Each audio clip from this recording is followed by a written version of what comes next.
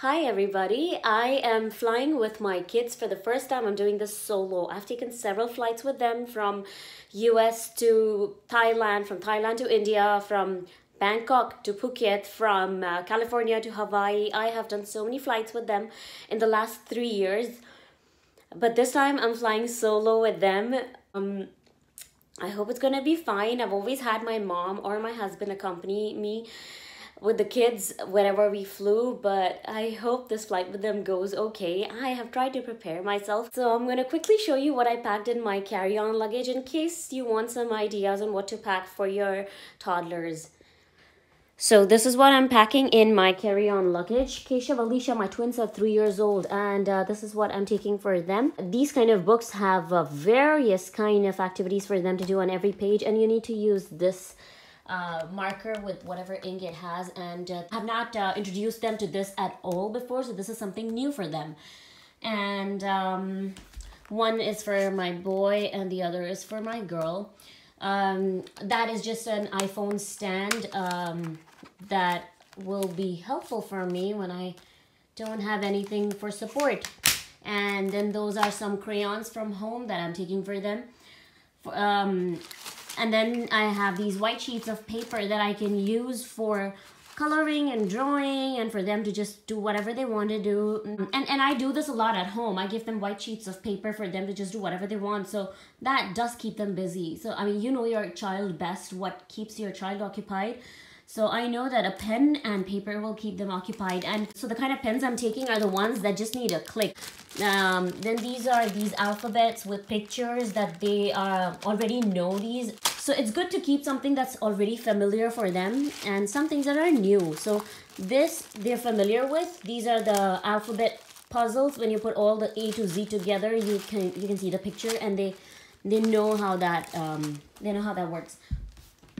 I am also carrying stickers, although they're not very big on stickers. I was hoping uh, taking each sticker out from this and um, maybe uh, putting it on paper or some activity that I can give them. I can put dots and make them take the sticker out and put the sticker only on that dot. Things like those that, you know, you can just come up with activities like those.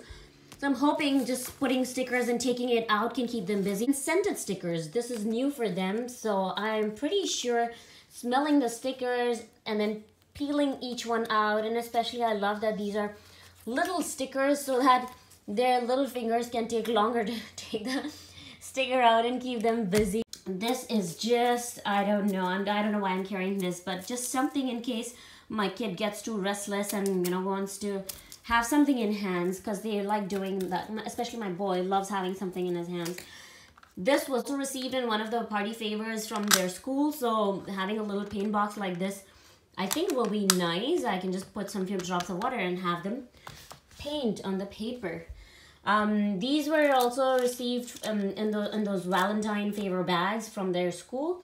Basically, what I want to say is that I didn't end up buying new things just for traveling. I used up whatever we had received or whatever we had at home, even if those are little things. I'm pausing for a bit to quickly add that all of these things will be placed in the very lightweight black bag that you see underneath and instead of opening the carry-on bag each time I want to do an activity, I'm going to just take the black bag out of the carry-on bag and keep it near my foot or um, under the seat for easy access. And then um, we have been learning about clock and time. So just something very light and weight again to, you know, just pass their time. This is a French memory game. I have not opened this packet yet, but this was also received in one of their Valentine bags. And so I'm carrying all the small things that I feel would be nice to keep them busy.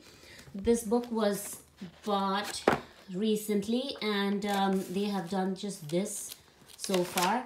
So I'm going to give them worksheets and they know that I'll be giving them worksheets from this book for them to do stuff. So that is plenty to keep them occupied and learn and just turn the pages to keep them busy.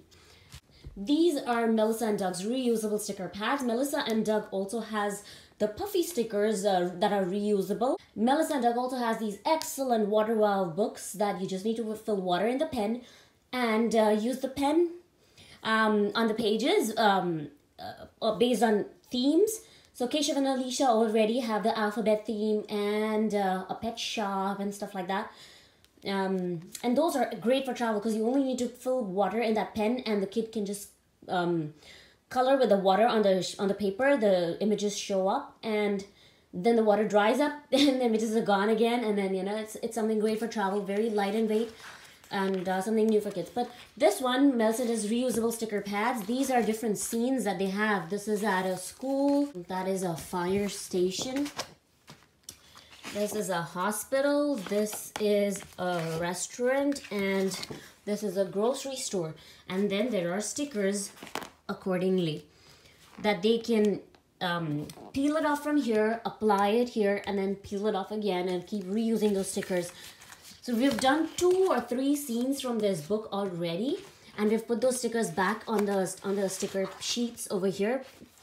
And this I'm hoping will also keep them busy. Um, but with the reusable sticker pad, I know they won't be able to do it on their own. So I will be doing things along with them. And I know anytime I am working alongside, then they show more interest in whatever activity they're doing. So see what works for your kids. Like the things that I know works for my kids is what I'm taking along with me. Also planning my journey was important uh, because I'm taking an overnight flight. So hopefully if they'll be sleeping 9 to 10 hours of the flight, then that leaves us with a few hours of layover and then a few more hours of travel time out of which they'll be eating some of the time. I'm hoping the flight will also have good movies to watch and that they will also provide headphones. If not, I'm carrying my earphones as well. So watching movies, I don't mind giving them screen time. So I've also uh, saved some videos, um, Dr. Seuss's Cat and Cat in the Hat videos and Daniel Tiger's Neighborhood videos. I have saved those in the iPad. So that's about altogether, I think, two hours of um, videos that are there on the iPad. So I can show them in breaks, I can show them on repeat mode. it doesn't matter to the kids as long as they're watching mm, watching the screen. Uh, so I have the iPad ready as well. Also in my uh, carry-on bag, I'm carrying extra pairs of clothes for them as well as for me. And then I have my laptop with me. I'm hoping there will be Wi-Fi on board. And uh, apart from that, I um, I think a lot of airlines give a lot of um, stuff for kids, right? Like crayons, color pencils and stuff. So I'm hoping this new airlines for us also give something to the kids. So there i think there's um i think i'm covered plenty. Not taking way too many activities. I don't want to get so overwhelmed about just keeping them busy and just taking so many activities for them and just going crazy about it. But it's just taking enough to keep them busy or um, and to do activities with them just like I do at home. The only difference is that it's going to be a close pace but for that, uh, I've, I've kind of mentally prepared them um, since a few days and since a few weeks actually. We're to be going to the airport, flying in an airplane.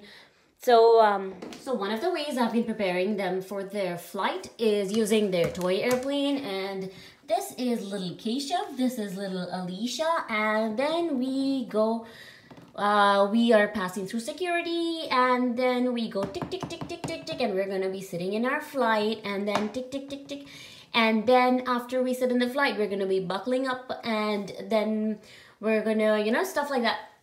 So one of the other pretend plays that we had was uh, we put cushions on, in the living room which were our flight seats. And then we would be sitting over there and buckling up and uh, you know and then now the plane is going to take off you know stuff like that. Um, so that's another way uh, we had our pretend play um, a month ago but no matter how much you prepare yourself mentally, no matter how much we prepare um, uh, activities and uh, just stuff for the kids to do, how a journey actually goes by is so unpredictable, is what I have um, figured in all these uh, years of flying with the kids. So I'm just hoping things go fine. Um, and I hope the things I shared in my video helps you uh, to prepare and plan for your trip with your kids.